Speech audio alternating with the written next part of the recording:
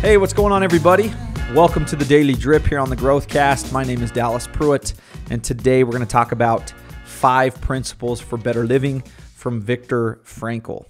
When you know why you do what you do, you'll have more power to do it. Meaning, that's what Viktor Frankl pointed to as the answer to life's crises that we undergo. You know, that swallowing feeling of emptiness that we've all felt right? It's a sign of a lack of meaning in one's life, Frankl would say.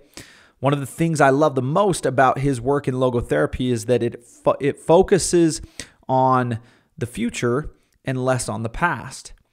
Look, no matter which way anybody spins it, logotherapy is a very constructive way to proactively attack crises in one's life.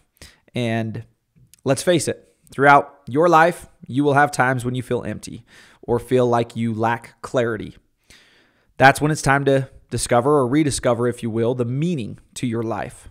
Again, when you know why you do what you do, you'll have more power to do it. What I wanted to do today is give you five guiding principles to better living, or for better living, rather. And these things derive from Frankl himself.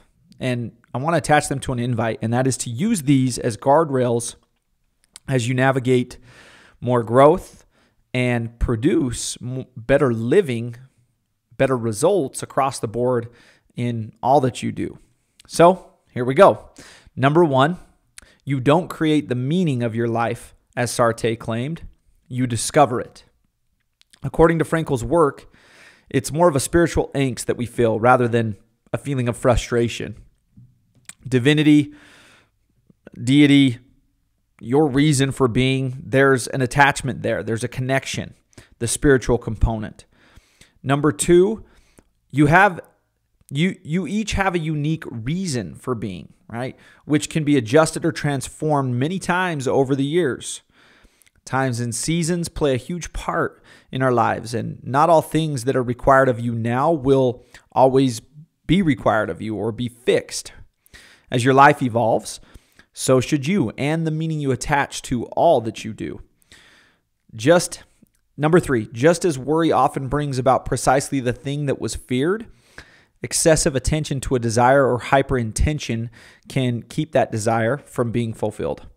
It's this dance that we must undergo every day of focusing on the process while never losing sight of the end, while never losing sight of the goal.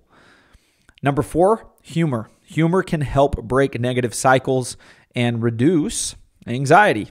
Humor is a cure for these ailments.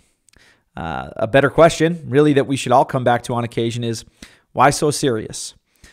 And number five, we all have the capacity to do noble or terrible things.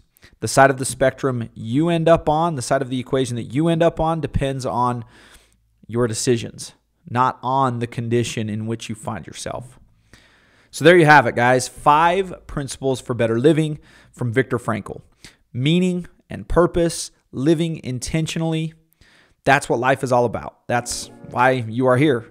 That's a rock worth building your foundation on. Make it a great day, everybody, and we will see you guys back here again